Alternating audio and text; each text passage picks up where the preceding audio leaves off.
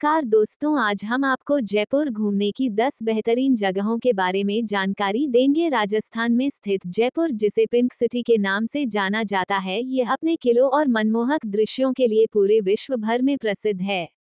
Number 10 पर है जयपुर में स्थित जंतर मंतर वैधशाला का निर्माण। सत्रह सौ चौंतीस में राजा सवाई जयसिंह द्वितीय ने करवाया था। इसको यूनेस्को विश्व धरोहर की सूची में भी शामिल किया गया है। इस वेधशाला का उपयोग आज भी ब्रह्मांड से संबंधित अवधारणाओं के बारे में जानने के लिए किया जाता है। नंबर नौ है जयगढ़ किला इस विश्व प्रसिद्ध किले का निर्माण राजा सवाई जयसिंह ने वर्ष 1726 में करवाया था।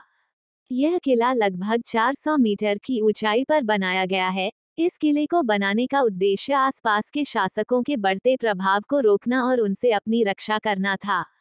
नंबर आठ पत्रिका गेट, यह सबसे खूबसूरत स्थानों में से एक है जयपुर के जवाहरलाल नेहरू मार्ग स्थित जवाहर सकल पर बना है जयपुर में यह नौवा दरवाज़ा है। इसके हर स्तंभ पर राजस्थान राज्य के हिस्सों को चित्रित किया गया है। नंबर सात नाहरगढ़ किला इस किले का निर्माण वर्ष सत्रह में किया गया था।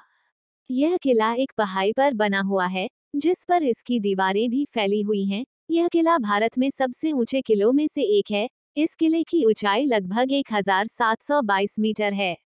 नंबर छह गलताजी मंदिर। इस मंदिर का निर्माण 16वीं शताब्दी में दीवान राव कृपाराम द्वारा करवाया गया था। मंदिर की छतों पर खूबसूरत नक्काशी देखने को मिलती है।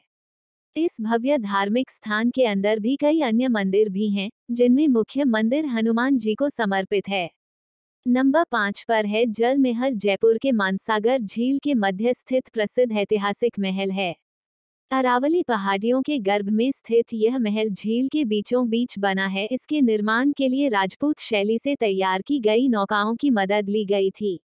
नंबर चार सिटी पैलेस राजस्थानी व मुगल शैलियों की मिश्रित रचना है। भूरे संगमरमर के स्तंभों पर सुंदर नक्काशी की गई है।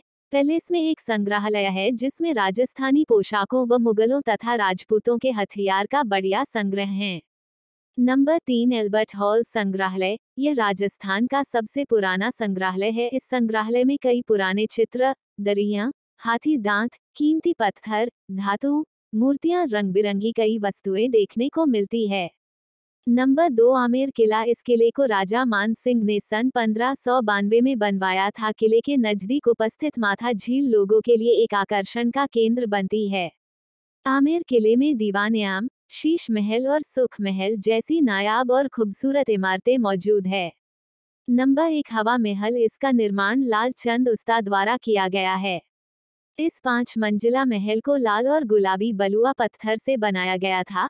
प्राचीन काल में राजपूतों के परिवार गर्मी के दिनों में ठंडी हवा का आनंद उठाने के लिए इसी महल में निवास करते थे।